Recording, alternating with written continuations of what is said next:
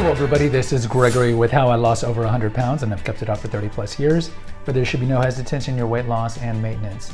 Today, we're going to talk about some ways that you can control your binge eating during the day while you're at work, for example. Now, before we begin, if you need help with weight loss, contact me through the Clarity FM link found here in the episode notes.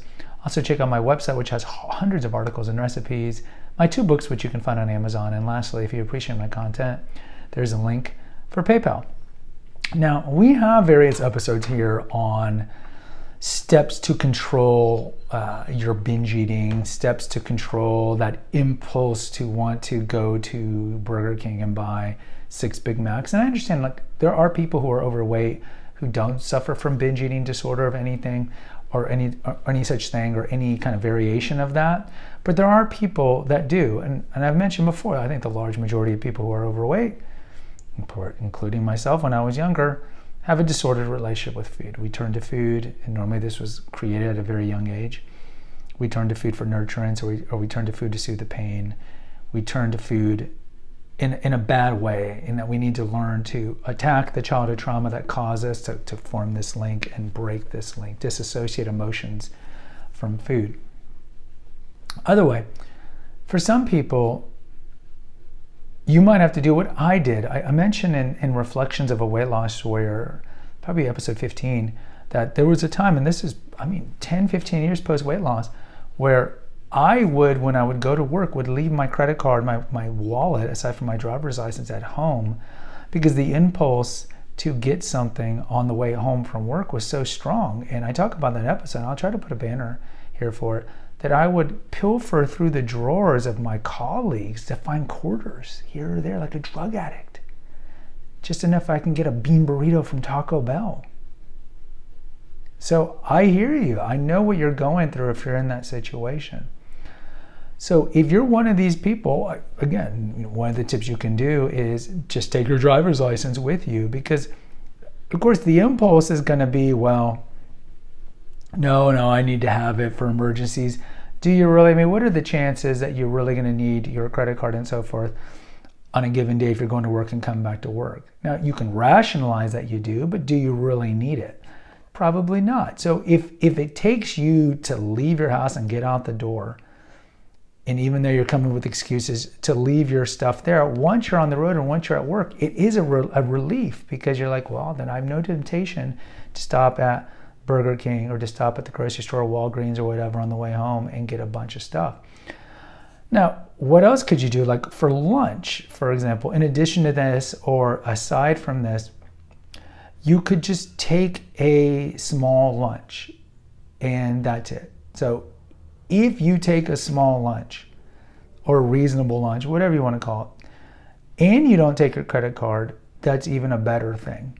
Now, for example, I talked about my fasting episodes that I don't eat till three. Now I'm not really tempted. Uh, so the way the, the, way it works is I don't like to be home um, when I'm doing work. I, I, work in a kind of virtual setting, so I could work from home.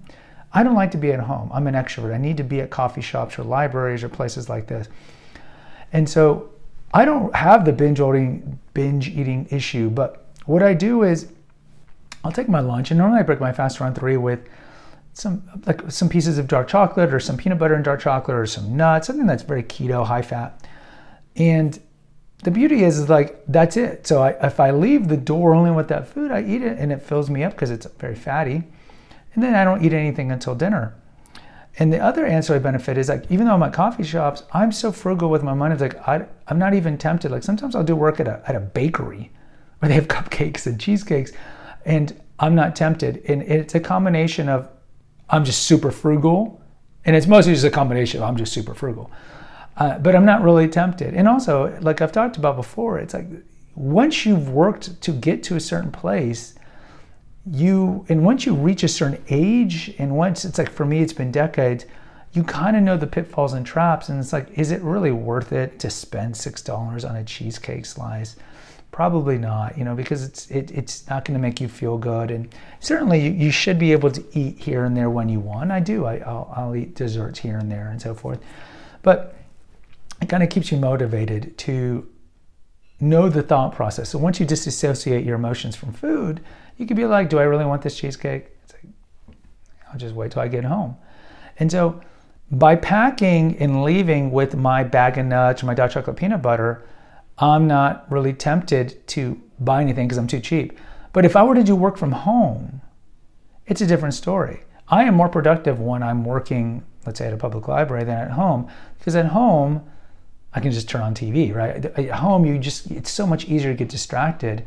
And also, if I'm at home and when I do break my fast, then I'm more likely to eat more foods because there's more foods here. So it's just better to just take take your lunch with you. So if you're if you're suffering from like binge eating impulses throughout the day, there are safeguards that you can put in. And certainly I think maybe it helps if you if you're married because if you don't take your credit cards with you, you know you can always call uh, somebody who can bring you a card or whatever. But if, if your binge eating impulses are really strong, guys, then I would really recommend you just don't take money or credit cards with you wherever you go and just pack your lunch. And these two things, aside from just the day in, day out processing, so let's say you do take your credit cards and everything, and you're, you're tempted to stop by Dairy Queen and get four blizzards. Just the thought, that, that connection, like deep breath. What am I really doing? What am I really trying to escape from? What is the purpose of this? How is this going to help me? Talk it out, write it out, call your accountability buddy, whatever it is, and just get it out in the open. Because lots of times when we're tempted to, to binge eat, a lot of the times it's because we're, we're, we're stifling, we're suppressing, we're stymieing this impulse. It's better to get it out, write it out, journal it out, talk to somebody, or just talk to yourself about it. So all these things can help you with the lunchtime binge. Guys, post in the comments. I'd love to hear from you. Hit the notification, subscribe, and share button. Until next time, take care. God bless and pray.